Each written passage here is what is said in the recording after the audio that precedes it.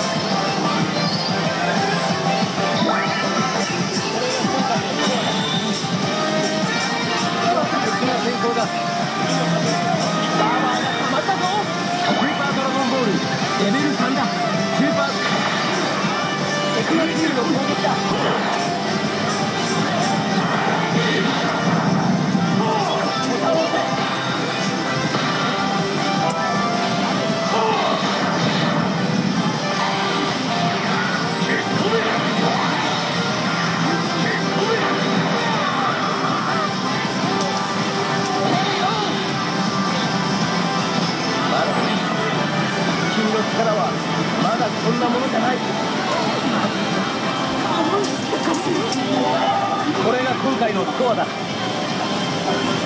はまだまだ上を目指せるはずだ。タッチパネルの上にあるカードは全て取り除こう。カードを全て取り除くと